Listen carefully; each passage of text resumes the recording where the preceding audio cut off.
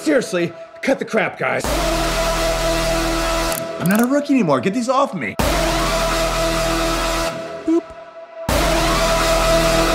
Rabbit, it's not like we want to shave your balls. Thorny, do you want to shave his balls? Me? Hell no. Foster? No way. You don't want to shave his balls, do you, Farva? Hell yeah, I do. No. No. God damn it, we gotta get out of there. Come on!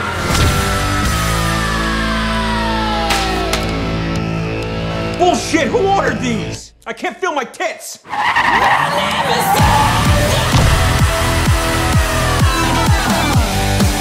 License and registration? Aren't you the two that pulled me over before? Beg pardon? How are you Mounties now? Or should I say Meounties? Hang on. Do you really not remember this guy? You just fucking with him. Yeah, I have no idea who he is. you know, I heard everything you said. Son of a bitch, we've been doing that for years.